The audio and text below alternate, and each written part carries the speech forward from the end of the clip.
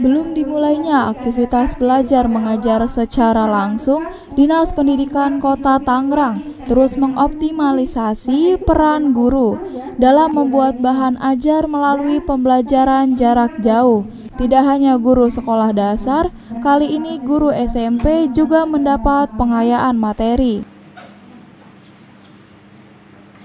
Yang saya hormati Kepala SMP Tata Usaha khusus juga dari awak hidayahnya kepada kita semua.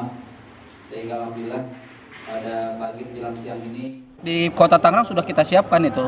Skenario nya artinya pola-polanya sudah kita siapkan tiga pola bahkan. Pola yang pertama masa transisi terus pola yang kedua nanti ada yang 50 eh, 30 persen 30 yang ikut tatap muka 70 eh, yang apa yang dengan daring terus bahkan yang PTP kita sudah siapkan. Jadi ada tiga pola yang kita sudah siapkan. Yang pertama masa transisi kita siapkan.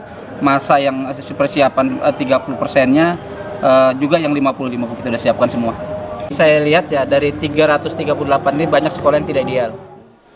Sejauh ini, proses pembelajaran tatap muka belum diterapkan di kota Tangerang. Namun sejak 2019 kemarin, pembelajaran berbasis digital sudah diterapkan oleh setiap sekolah, ditambah dengan pembelajaran jarak jauh dengan pemanfaatan teknologi guna mendukung pembelajaran sangat efektif.